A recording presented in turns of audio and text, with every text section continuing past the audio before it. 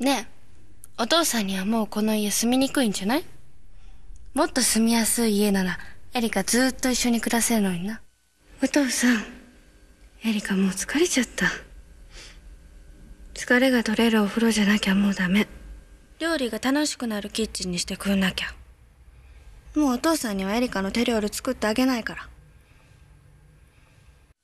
料理が楽しくなるキッチンだったら、お父さんのお弁当もっと美味しくなるんだけどな。